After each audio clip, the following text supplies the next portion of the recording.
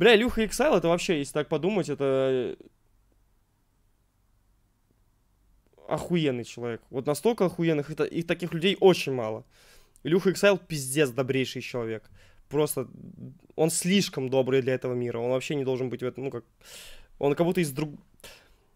Он с другой планеты просто. Где все люди, знаете, добрые. Таким людям тяжело, на самом деле, в мире.